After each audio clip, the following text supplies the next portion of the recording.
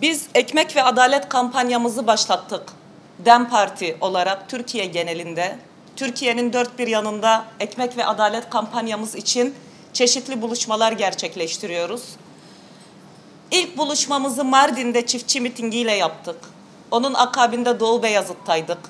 Dün Batman'daydık, bugün Hatay'da ve buradan yolumuz İzmir, Manisa, Antalya, İstanbul, Mersin, Adana birçok ilimizde biz bu buluşmaları gerçekleştireceğiz. Bugün de normal şartlarda e, eş başkanımız Tuncer Bakırhan aramızda olacaktı. Annesini kaybettiği için o gelemedi ve bugün ben gelmiş oldum tekrar memleketime. E, onun da selam ve sevgilerini iletiyorum. Buradan da buradaki halklarımız adına da kendisine başsağlığı dileklerimizi iletiyorum. Ekmek ve Adalet kampanyasındaki amacımız nedir? Biraz önce söylediğimiz gibi ve belki bugün uzun uzun konuşacağımız Türkiye'deki neredeyse her sektörün, Türkiye'deki her kesimin yaşadığı ekonomik yıkım, yaşadığı açlık, yoksulluk artık öyle bir noktaya gelmiş ki, öyle bir derinleşmiş ki ülkede insanlar artık nefes alamaz bir halde. Biz bu kampanyaya bizi iten neden elbette Türkiye'de yaşanan bu ekonomik problemlere, krize karşı güçlü bir mücadeleyi büyütmek ve güçlü bir mücadeleyi nasıl geliştirebileceğimizi hep birlikte konuşmak. Bu kampanyadaki amaçlarımızdan birisi evet buluşmak ama bir yandan da gerçekten her sektörün kendi içinde güçlü bir örgütlenme sağlaması, her sektörün kendi sesini yükseltmesi ve bu iktidarın kötü bir biçimde yönettiği bu politikalara karşı, bu ekonomi politikalarına karşı güçlü bir tavır ortaya koyabilmektir. Bunun için biz tarım üreticileriyle, çiftçilerle, esnafla, kağıt toplayıcılarıyla, fabrikada, atölyelerde çalışan işçilerle, tekstil işçileriyle, atanma, ataması yapılmayan öğretmenlerle, KHK'lılarla, yani ez cümle Türkiye'de turizm işçileriyle, Türkiye'deki bütün sektörlerle buluşmayı hedefliyoruz bu kampanyada. Bugün de burada teke başında biz çiftçi kardeşlerimizle sizlerle buluşmak ve sizin sorunlarınızı konuşmak ve hemhal olmak istedik. Ekmek ve Adalet kampanyamızda özellikle çiftçilerin sorunlarını çiftçilerle buluşmasak da konuşuyoruz. Çünkü Türkiye bir tarım ülkesi. Çünkü Türkiye sanayisi gelişmiş bir ülke değildir. Türkiye'nin temel geçim kaynağı evet başta buralar Hatay, Çukurova başta olmak üzere, Ege başta olmak üzere aslında Türkiye'nin dört bir yanı tarım ve hayvancılıkla geçimini sağlayan insanlarla dolu. En önemli geçim kaynağı bu. AKP iktidara gelmeden önce Türkiye kendi kendine yetebilen bir ülkeydi tarım ürünlerinde ve ihracat yapabilen ilk 9 ülkenin dünya ölçeğinde ilk 9 ülkenin içindeydi. Ama şimdi uyguladıkları yanlış tarım politikalarıyla hatta yanlış demeyelim bilerek tarımı ülkede bitirmek için ve bizi ithalata bağımlı bir hale getirmek için uyguladıkları politikalarla şu an halimiz ortadadır. Şimdi çiftçi üretim yapamıyor. Çiftçi neden üretim yapamıyor? Çünkü çiftçinin bu uygulanan politikalarla çiftçiye demiş oluyorlar ki sen ekme, biçme ve geçinme. AKP'nin parolası tamamen budur. Ekme, biçme, üretme ve geçinme. Bunu sağlıyorlar. Bunun bu seviyeye nasıl geldi? Hatırlayacaksınız pamuğa, tütüne kota uygulamaya başladılar iktidara geldikten sonra. O kotaların peşinde tohum politikası değişti. Tohum ithalatına bizi mecbur ettiler. Doğal tohumu bitirdiler, hibrit tohuma geçildi. Çok üretim yapılıyor diye. Bizim bölgemizde de biliyorum ben Hatay'da da bu bölgede de Samandağ'da da kanser vakaları çok yaygın. Bütün bunların en önemli nedeni gerçekten Gedeoğlu tohumların olduğunu çok iyi biliyoruz. Bugün kendine bu iktidar yerliyim ve milliyim diyor. Yerli ve milli olduğunu iddia eden iktidar tohumda bile Türkiye'yi ithalatçı bir pozisyona getirmiş durumda. Yerli tohumu bitirmiş durumdadır. Ve yine değerli arkadaşlar siz çiftçiler ben sizin sorunlarınızı tabii ki e, ne kadar anlatsam sizin kadar bilemem. Sizler burada belki biraz sonra söz aldığınızda bu konuştuklarımızı çok daha derinleştirecek, çok daha fazlasını da anlatacaksınız. Bunu da çok iyi biliyorum. Ama çiftçinin üretimde bu kadar aksaklık yaşamasının en büyük sebeplerinden biri tohumun, gübrenin pahalı olması, mazotun, elektriğin pahalı olması, suyun pahalı olması. Bugün Türkiye'de artık üreten üretici üretirken koyduğu masrafı kazanamayacak bir duruma gelmiş durumda ve birçok üretici üretim yapmaktan imtina etmeye başlamış. Bakın biz e, Iğdır'da daha önce yaptığımız halk buluşmasında hiç unutmuyorum hayvancılık yapan bir çiftçimiz şunu söyledi. Dedi ki biz samanı bile ithal eder bir duruma geldiysek biz küçük baş hayvanları zaten tasfiye ettik. Ki biliyorsunuz Iğdır'ın en önemli geçimi küçük baş hayvancılığı daha çok ve tabii büyük baş hayvancılığı da var. Ama diyor biz samanı bile ithal eder bir pozisyona geldik. Saman fiyatına bile yetişemiyoruz. O yüzden sadece biz değil, bizim gibi çalışan birçok insan hayvanları artık hani toptan satıyor ve yenisini almıyor artık. Bu duruma getirilmiş bir hal söz konusu. Bugün devlet su işleri illere göre farklılık arz etse de her ile göre ayrı bir politika izliyorlar. Doğrudur. Ama suya, sulama suyuna koydukları zam yüzde 60 ila yüzde 400 arasında değişiyor. Çiftçinin kullandığı elektriğe yüzde 30 ve üzeri zam yapıldı. Narenciye üreticilerinin hali ortada. Özellikle bu bölgede ağırlıklı olarak Hatay'da narenciye üretiminin olduğunu biliyoruz. Ama bu deprem bizi her açıdan çok etkiledi. Bu deprem sadece evimizi yıkmadı, bu deprem sadece canımızı almadı. Bu deprem işlerimizin de yıkımına sebep oldu. Yani bugün narenciye üreticilerinin konuştuğumuz arkadaşların ifadesiyle söyleyecek olursak, bize bilgi veren arkadaşların ifadesiyle söyleyecek olursak, narenciye üreticileri depremden dolayı yaşanan göç ve burada yaşanan karmaşadan işçi bile bulamaz bir hale gelmiş durumda. Bu kadar ciddi sorunlar var. Bugün değerli arkadaşlar çiftçilerin borcu Türkiye ölçeğinde 850 milyarı aşmış durumdadır. 850 milyar TL sadece çiftçinin borç aldığı e, miktar.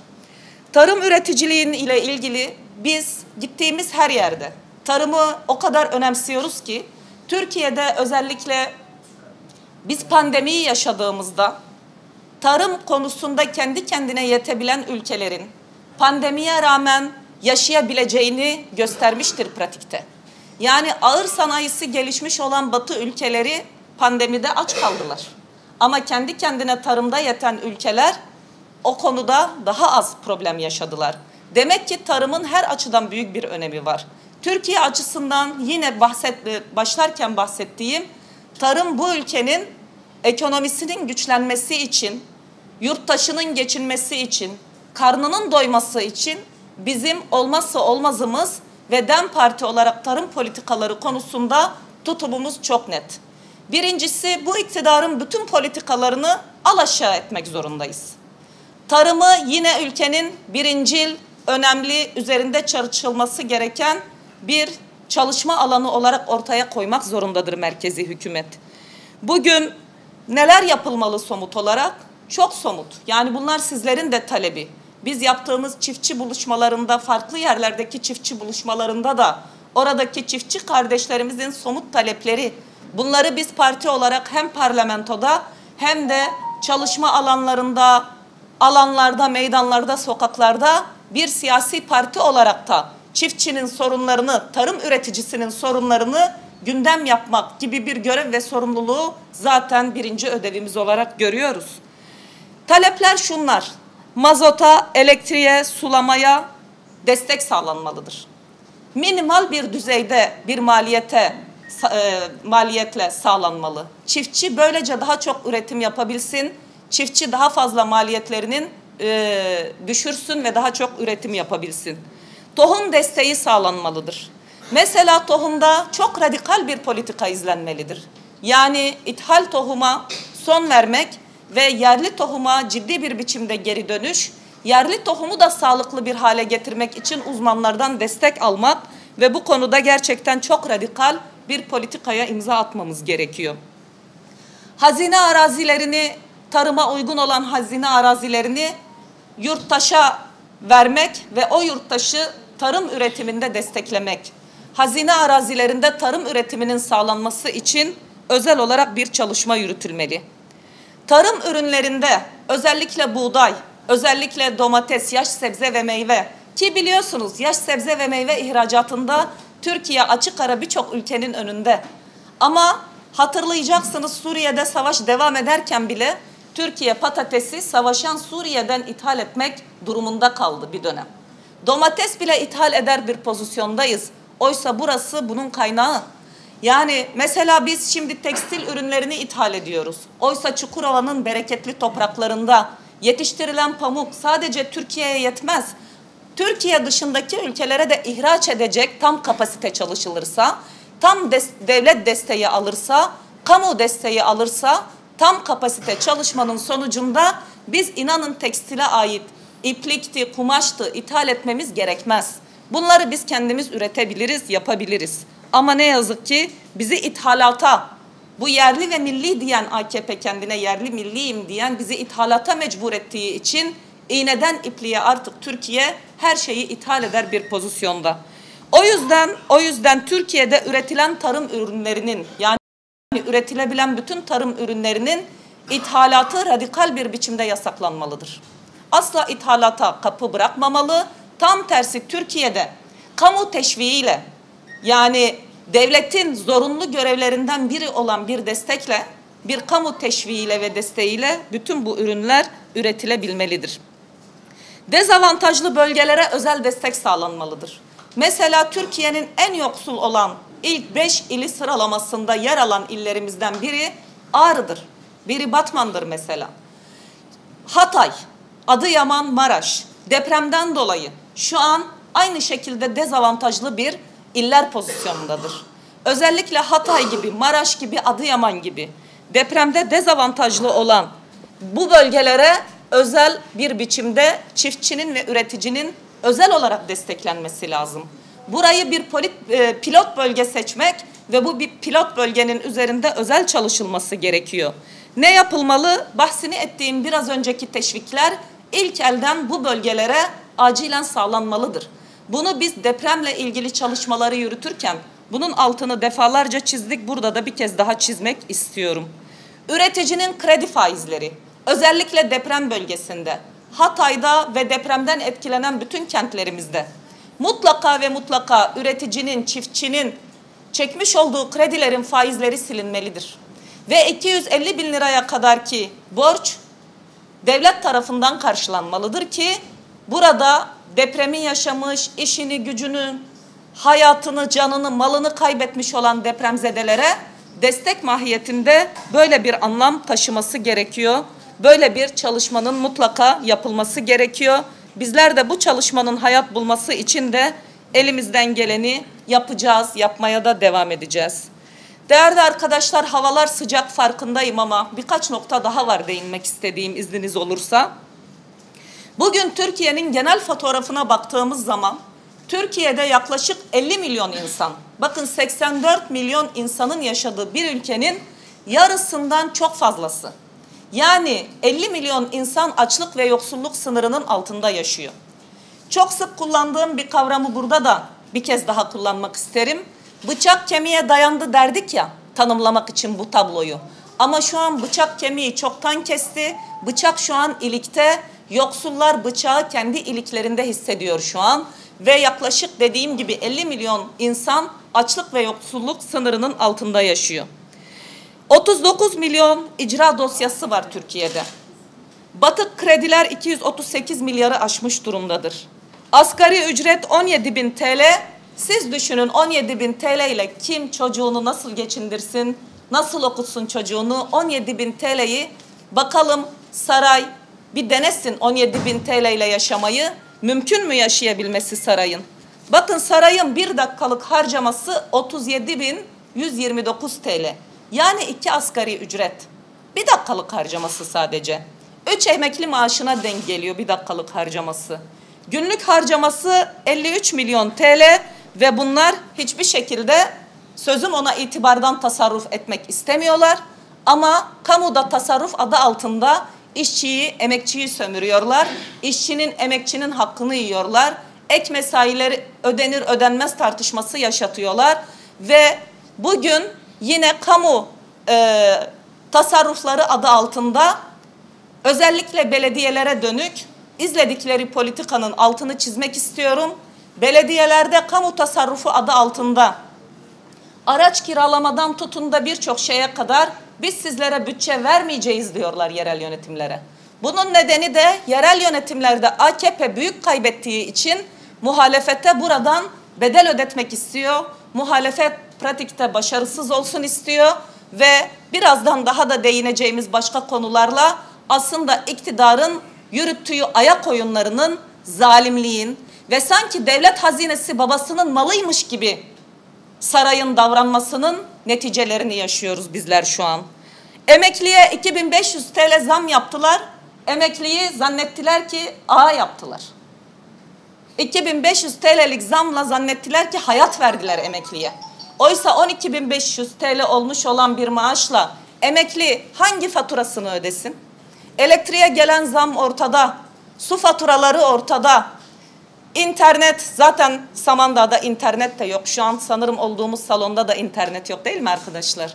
Yani burada depremle birlikte zaten bunun mevcut olan kötü altyapı da gitti ve şu an internet de yok. Bütün bunların karşılanması için adım atılmıyor.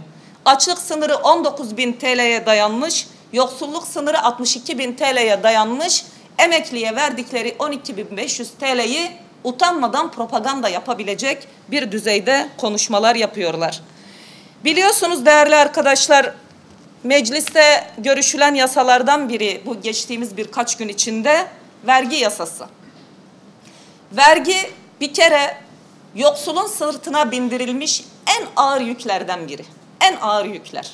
Bakın bu kadar yoksullaşmanın altında yatan en büyük nedenlerden biri bu kadar hayat pahalılığının olmasının en büyük nedenlerinden biri adaletsiz vergi sistemi. Biz hep şunu savunduk. Servet vergisi alınmalıdır. Azdan az, çoktan çok vergi alınması gerekiyor dedik. Ama onların yaptığı biliyorsunuz birkaç milletvekili AKP'nin ve birkaç yandaş büyük firmanın, şirketin vergi ödemedikleri açığa çıktı.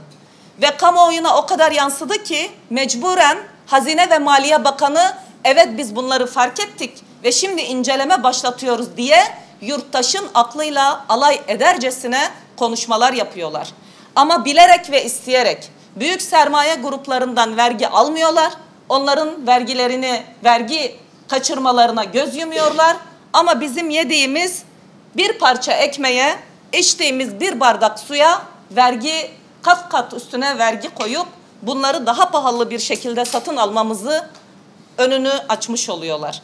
Değerli arkadaşlar bir kere şu çok nettir. DEM Parti olarak şunu çok net savunuyoruz.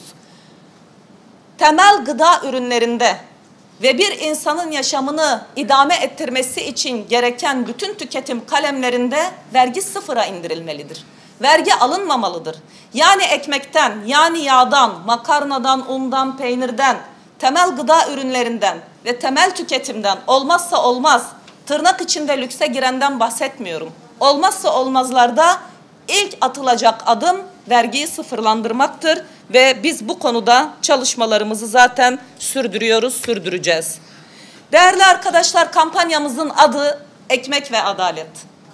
Ekmek yoksa adalet yok, adalet yoksa ekmek yok. Ama Türkiye'de özellikle mevcut olan iktidarın tabii ki biz geçmiş dönemde bir demokrasi cennetinde yaşamıyorduk ama mevcut olan iktidarın bizleri mahkum ettiği faşist otoriter rejimin sadece iktisadi alanda, ekonomik alanda baskılarına tanıklık etmedik.